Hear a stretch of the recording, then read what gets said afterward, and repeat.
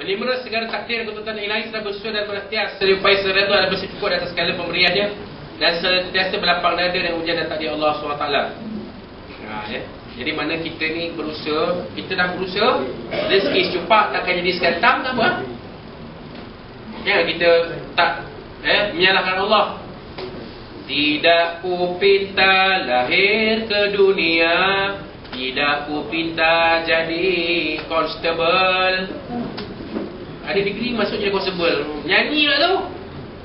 Masa karaoke dia nyanyi dia ni ada bakat sikit. Dia ubah suai pula lagu. Tidak aku pinta Berpanas, berhujan. Apakah daya kerja sekarang? Dah tak ada. Walaupun aku ada ijazah Aku reda jadi constable polis. Apakah daya Ku terima saja bekerja dalam PDRM. Oh, macam mana? Lah. Hati ini sering sakit mengenangkan bos di office yang selalu membuli setiap masa. Buat macam mana? Kena terima lah. Terima. Tak apa. Dan ada ubi, ada batas, ada hari boleh ku balas. Tu eh. Tu nyanyi je. Maknanya kita terima lah rezeki kita yang Allah Ta'ala bagi ni, inilah dia. Terima insyaAllah mudah-mudahan bila kita reda atas pemberian Allah, Allah Ta'ala akan berilah. Jadi, la'in syakartum la'azidanakum. Kalau kamu bersyukur, Allah Ta'ala akan tambah. Walain kafartum in azab bila syadid. Kalau kamu tak bersyukur, azab Allah sangat pedih. Ha, itu bersyukur lah. Tak apalah. At least, sekurang-kurang yang kita ada kan? Ada apa? Ada kerja. Berapa ramai kawan-kawan kita yang tak ada kerja? Eh? eh berapa ramai yang keluar universiti tak ada kerja?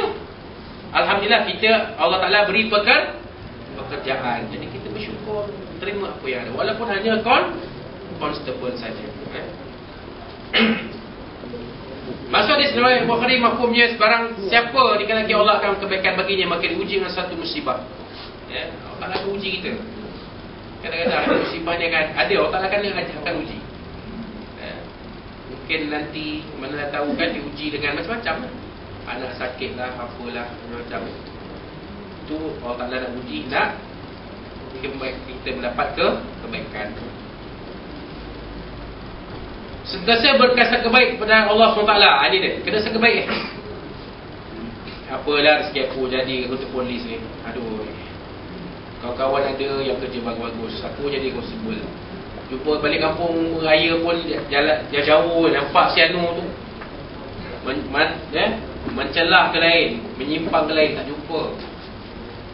Segan. Kerja apa? Polis. Tak kelas. Saya kebaik dengan Allah Ta'ala eh? Allah tetapkan sesuatu itu ada hikmah. Tidak keluh kesah, tidak berputus asa. Sentiasa berfikiran positif. Ini yang kurang dalam diri kita setengah kita. Kan?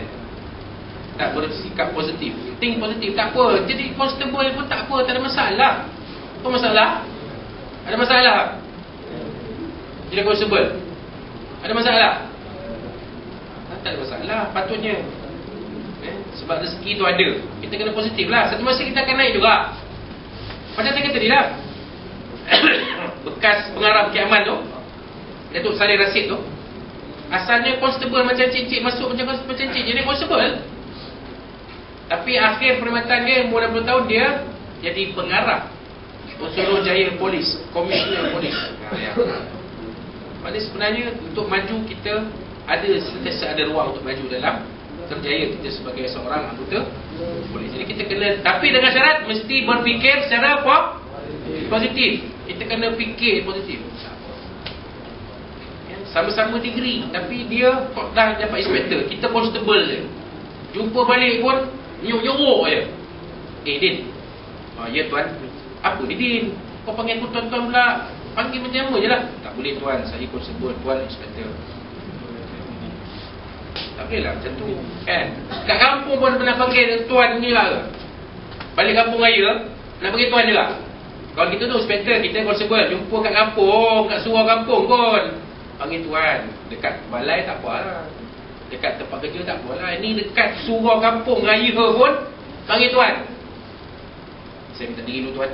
Oh.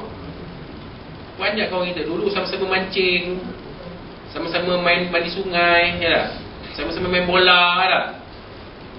Tapi rezeki dia jadi inspector, rezeki kita anggota, ya tak apa lah. Tak ada masalah. Think positif. Mungkin dia esok Masa masa kita lebih tinggi pangkat daripada Daripada dia Bayang Kan? Rezeki. Sentiasa memandang pada orang yang di bawah Berbanding dengan orang yang di atas. Nah itu dia. Jangan kita rasa kecil Kerdil sebab kita seorang kon Constable Jangan kerdil Ramai lagi orang yang lebih teruk dari kita Ada yang masuk universiti juga Tapi universitinya tu dekat perlu Ha, universiti serenti tu. Ha, lagi dahsyat. Encik-encik perempuannya dapat kerja walaupun constable tak masuk universiti. Tapi tak adalah masuk universiti tu. Saya walafiat. Ini kalau ada masuk situ macam ha, 6 bulan 6 eh, bulan graduate masuk balik universiti. Tak cukup tak cukup mengaji, kena mengaji balik. Ha. Kan? Masuk universiti je tapi tak ada pandai. Nampak? 6 bulan je tak pandai, 6 bulan dia masuk balik universiti. Ha, kenapa kena tangkap? Masuk universiti balik, universiti serti. Ha, kan? Kita syukur Alhamdulillah kita masih lagi Allah Ta'ala beri kesihatan, bebas dari dadah Boleh mendapat pekerjaan Jagalah elok pekerjaan kita eh? Memahami dan meyakini konsep kadar dan kadar Kadar dan kadar Konsep kadar dan kadar Ketentuan Allah kita kena terima eh? Tak apalah Kita terima. Walaupun kita ni tak sepandai mana Tak esensi mana Tapi Allah Ta'ala tetap beri kita Punca res rezeki. Kita boleh cari kehidupan. Jadi kita terima yang baik. Memahami bahawa hidup ini sebagai satu ujian dan persiapan menghadapi mati. Kalau Allah SWT ada ayat 2 surah Al-Mulk. Eh? Wallazi khalaqal mauta wal hayata liyabluwakum ayyukum ahsanu amala. eh huwal azizul ghafur. Allah Taala menjadikan kematian dan kehidupan nak tengok kita ni tentang kita siapa yang paling paling baik amalan dia. Menyadari bahawa Allah SWT tidak pernah menzalimi hambanya Melainkan hambanya selalu menzalimi dirinya sendiri. Allah Ta'ala tak pernah zalim berita. Allah Ta'ala adil berita. Kan? Allah Ta'ala jadikan kita ni eh, Sama rata. Eh, Tak ada beza Apa beza kita dengan orang lain Kita ada dua tangan, dua kaki Mata dua, telinga dua Lubang hidung dua Bibir ada atas bawah ha? Kalau kita lelaki-lelaki Dengan izin ha? Ada pistol ha? Ada biji, dua biji bola Apa beza? Ada beza Tak ada beza Melainkan kita dengan orang perempuan Perempuan dia tak ada, tak ada benda tu Tapi dia ada ya, Dua buah mangga Kat atas beza dia? Panjang ha, Kita ni ha, Kalau tak bercukup ha, Nanti lama-lama ha, ha, Jadi apa? Saya menganggap ha, kan? Tapi kita sama je dengan lain tak ada beza Tak ada beza, sama je Kan? Cuma kita sendiri yang zalim pada diri kita kan Tak bersyukur ya? Selalu menyalahkan Allah ha, Jangan macam tu kan? Kita bersyukur